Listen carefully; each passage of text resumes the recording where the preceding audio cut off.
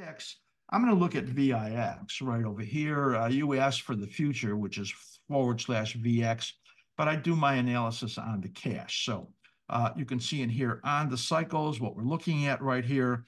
So we had that big uptick in the VIX, which was really out of place on that panic that we saw here, uh, I saw on the daily chart.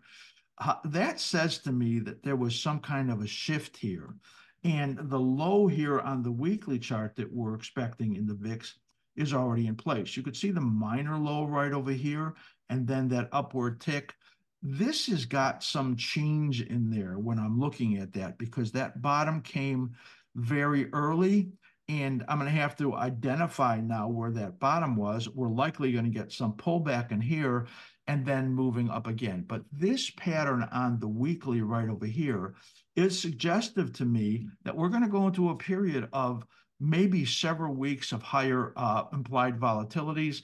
And that's speaking to the fact that we think that there is a correction coming out in the stock market that I'll be talking about fairly soon. So this analysis here in the VIX needs work, some revision, because you could see we got back up to that level right over there and slightly surpassed it. That means that 1181 was an important low level.